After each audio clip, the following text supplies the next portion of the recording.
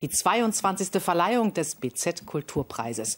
Für uns steht Uli Zeller am roten Teppich und haben sich da schon ein paar Preisträger eingefunden, Uli? Sie haben sich alle schon eingefunden, denn die Veranstaltung soll ja um 20 Uhr beginnen und ich habe schon den dicken Bären hier von Anna-Maria Mühe in der Hand. Den muss ich natürlich gleich wieder zurückgeben, denn sie bekommt diese Auszeichnung hier in der Ulsteinhalle. Über 600 Personen, wie gesagt, haben darin Platz. Im Moment sind die Preisträger aber ganz oben und zwar im 19. Stock des äh, Springerhauses hier an der Axel Springer Straße. Da gibt es dann ein Familienfoto. Vorher sind sie natürlich über den roten Teppich gegangen. Matthias Schweighöfer, das Allround-Talent ist dabei. Anna-Maria Mühe haben wir gerade schon erwähnt. Und da haben wir rechts im Bild, das ist Reinhard Kleist, der ist ein Karikaturist, auch ausgezeichnet. Matthias Köppel haben wir noch, der noch ausgezeichnet wird. Hier natürlich Rosa von Braunheim. Ich hoffe, es wird eine starke Veranstaltung, moderiert hier von Merit Becker.